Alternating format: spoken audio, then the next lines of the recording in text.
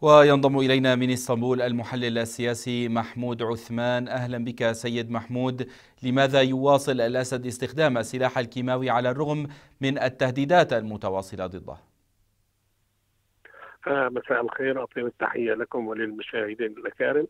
آه، أعتقد أن الروس وليس الأسد هم من يرسلون رسائل إلى الأمريكان وإلى الأوروبيين من خلال هذه الهجمات. المحرمة والمدانة دوليا. آه، هم يريدون جر الأمريكان إلى المسألة السورية ويريدون آه،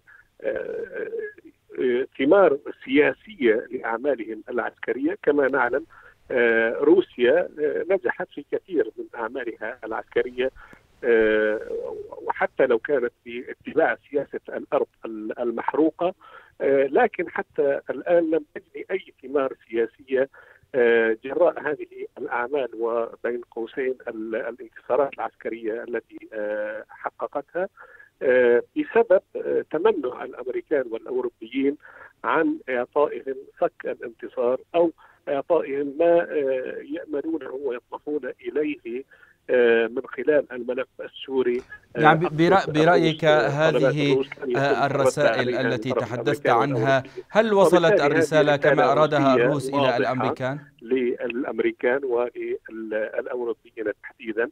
آه، إعادة خلط الأوراق الضغط على هؤلاء تحدي هؤلاء اختيار الوقت آه الذي يأتي في الذكرى السنوية سيد محمود؟ السنوية لنجاة خان شيخون نعم. نعم سيد محمود برأيك هذه الرسائل التي تحدثت عنها التي أرادت آه، روسيا إيصالها إلى الجانب الأمريكي هل آه، يعني آه، وصلت بالفعل إلى الجانب الأمريكي كما أرادتها روسيا؟ هي وصلت تماما وهذا سر الحدة التي نراها من خلال لغة ترامب يصف بشار الأسد بالحيوان لكنه لا لا يقوم بشيء ولن يقوم بشيء لا هو ولا غيره آه، يعني برأيك هذه برأيك هذه التهديدات الأمريكية هي فقط سلسلة من التهديدات يعني نفس التهديدات السابقة وتتكرر الآن؟ آه، بالتأكيد لو كان لو كانوا صادقين لاتخذوا إجراءات من خارج من خلال القوانين الدولية لكن من خلال من خارج مجلس الأمن الذي يعطله آه، الروس والصينيون. آه، لدى الولايات المتحدة الأمريكية وحلفائها الأوروبيون آه، خطوات كثيرة خيارات كثيرة في ردع النظام السوري ومن يقف معه سواء روسيا أو إيران في خطوات عسكرية حقيقية رادعة. من خارج مجلس الأمن الذي يعطله الروس والصينيون كما قلت آه، لكن هم لا يلجؤوا لهذا الخيار لأنهم آه، لا يرون داعيا لذلك. أما بقية التصريحات فعلى عينك يا تاجر كما نقول باللهجه السورية.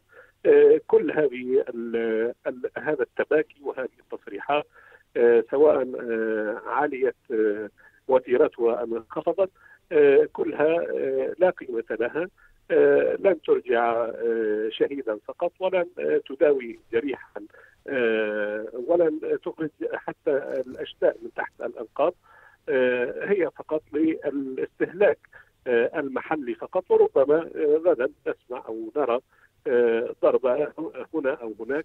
والنظام هو مستعد لهذه الضربة أساسا. يعني هو قبل أن يقدم على فعلته النكراء هو مستعد لهذه الضربة ويعرف آه، ثمن آه، فعلته.